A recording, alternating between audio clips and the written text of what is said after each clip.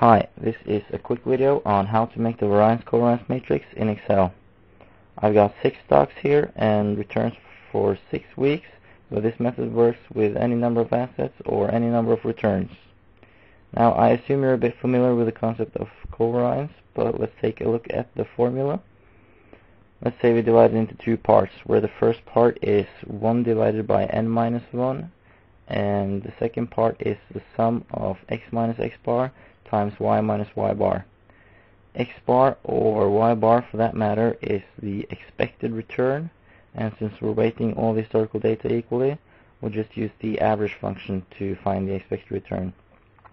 So type in average and just drag it all over here and you have a vector of expected returns and since x bar or y bar is the expected return then x minus x bar is the excess return. And the next thing we should do then is to find the excess return for all the stocks and all the weeks. So just select a 6 by 6 matrix since we got 6 stocks and 6 weeks. And select the return matrix and subtract the expected return vector and press Control Shift Enter. It's important to always press Control Shift Enter when you're dealing with matrices or array formulas in Excel.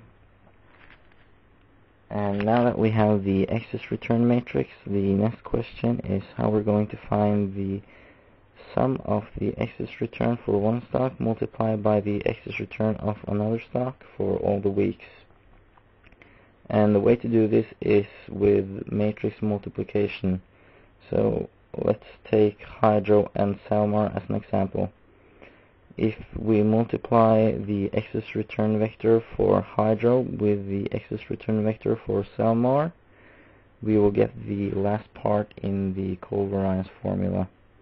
And if you know something about matrix multiplication you know that you get your row information from the first vector or the first matrix and your column information from the second matrix. So we're going to have to transpose the first vector and then multiply it by the second vector. And all that is left to find the covariance between the two assets now is to divide by n minus 1, which in our case is 5.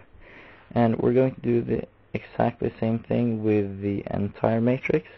So select a 6 by 6 matrix, since we've got 6 assets here and type in mult transpose and then select the excess return matrix and multiply by the excess return matrix. And control shift enter. And all that is left now is to divide the entire matrix by n minus 1 and which is 5 in our case and then we got our variance covariance matrix here. And the beauty about this method is that you can do all of this in one step. So select a 6 by 6 matrix and or well the number of assets you've got and type in mmult transpose and select the return matrix and subtract the expected return vector and multiply it by the return matrix minus the expected return vector and divide it by n minus 1 5 here and control shift enter and we got the variance covariance matrix. If you have any questions just ask them in the comment field